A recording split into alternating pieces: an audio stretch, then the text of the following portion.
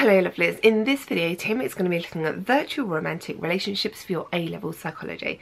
Now there are lots of things to remember in this video, so to help you remember all of the bits that you need to for your exams, over my website there is a massive course with loads of multiple choice questions to really really help you revise.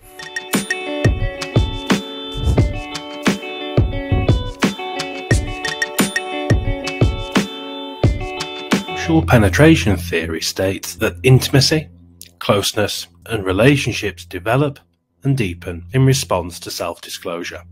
Self disclosure is sharing information about yourself as an act of trust and bonding. Joinson, working in 2001, found variances between how much and how fast this happens via the internet and physically face to face in person. In this particular experiment, undergraduate students participated in a laboratory study. They were placed in same sex pairs and then asked to discuss an abstract dilemma. That's one with no real basis in fact, a completely hypothetical, theoretical problem. This was done to try and stimulate conversations between the participant pairs. The written transcripts of these conversations were read. They were then rated for self disclosure, how much participants disclosed information about themselves. Importantly, only unprompted self disclosure, which wasn't relevant to the actual problem, included. This was done in two different ways in a repeated measures design. Experiment 1 used a mix of face to face and online chat. Experiment 2 used entirely online chat, but with some video calling included. In both types of experiment, using online chat only proved to elicit much more self-disclosure than either video chat or in-person face-to-face conversation. The obvious conclusion drawn was that individuals are much more prepared to self-disclose over internet chat than other forms of communication. This was a laboratory experiment. There was excellent control of variables, and it's highly unlikely that some sort of extraneous outside unknown factor influenced the results. The downside, however, is that there is very limited ecological validity, and it's impossible to say that people in a naturalistic environment would behave in the same way given the same conditions. The participants were also in same sex pairs. It's also unknown if the same results and the conclusions would therefore be drawn if the pairs were mixed or of opposing sexes. Another possible variable in forming relationships is self awareness. In particular, it's been theorized that self awareness may affect our ability to form virtual or online relationships.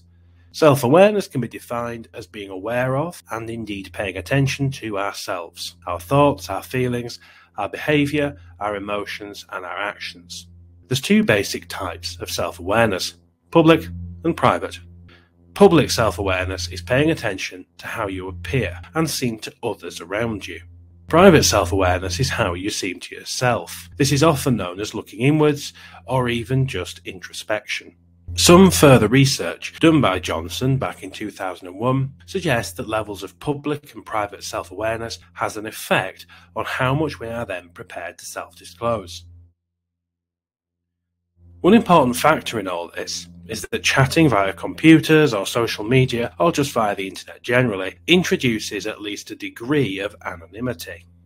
This makes it more likely we are less aware of ourselves and less aware of how we appear to others. It therefore makes it more likely that in these online settings and virtual relationships, most of us are prepared to self disclose more.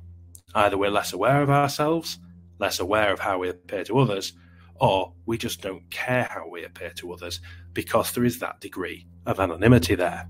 In 2002, McKenna, leading a group of researchers, looked into relationships that have been formed through the internet.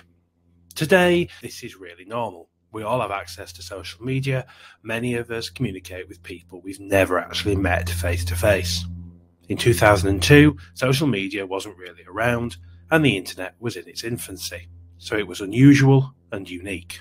Surveys were randomly sent to the users of some online forums. Chat rooms were at their peak in the early 2000s. These were usually unrelated to both psychology or dating. So they used, for example, forums about cars, travel destinations, or pets. The surveys examined in great detail how individuals acted offline, how they formed online relationships, and how they viewed these online relationships. Participants were then sent a follow up survey roughly two years later. This asked similar questions in an effort to see if the initial responses and views had changed over that time. Obviously, a huge amount of data was gathered, but several strong conclusions could be drawn. Firstly, and this seems obvious to us today, people can form long lasting and very genuine, stable relationships online through self disclosure.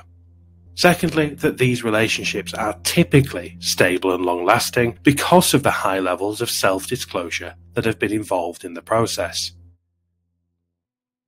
Fairly obviously, this study used surveys, which are a self reporting method. This always introduces the possibility, indeed even the probability, of some bias and subjectivity being included. That said, on the other hand, this study did use a relatively large sample size. It had a high level of ecological validity. It studied actual people in real world scenarios and actual chat rooms, rather than participants in a confined and controlled laboratory experiment. However, this does mean that there wasn't perfect control of variables.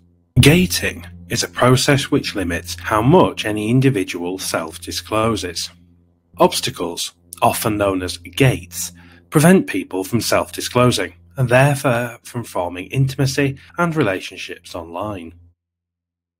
These gates can be many and varied, like personal appearance, sense of dress, personal habits, behaviours, lack of social skills, inherent shyness, sometimes even religion and culture, or even age.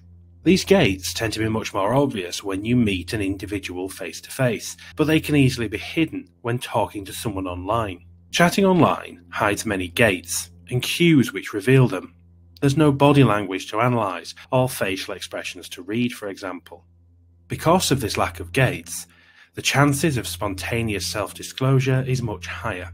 This self disclosure also happens much quicker. McKenna conducted some further research also in 2002, which looked into this at a deeper level. This research concluded that individuals were much more likely to get on and form a friendship or romantic relationship if they'd met online before meeting face to face. Once again, this is a relatively normal concept to us today, but back in the early 2000s, this was extremely unusual. However, this would suggest that the absence of gating online leads to people finding it much easier to form deep and long lasting stable relationships, be they friend based or be they romantic.